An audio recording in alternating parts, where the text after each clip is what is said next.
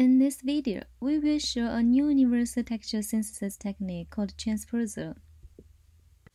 This technique can take a small texture image as input and generate multiple times larger texture outputs in only tens or hundreds of milliseconds. It can handle different varieties of input texture images. It's also possible to take a small texture as input and directly generate 1K by 1K and 2K by 2K texture images. We compare with state-of-the-art non-learning methods and the latest learning-based methods. When compared with the state-of-art non-learning method, such as self-tuning, our results show that we can better preserve the structures of the input image and also in a much faster way.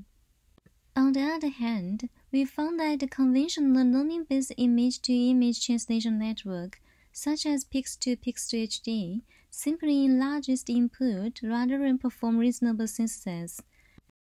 By taking different random noise as inputs, we can generate different synthesis results. Thank you.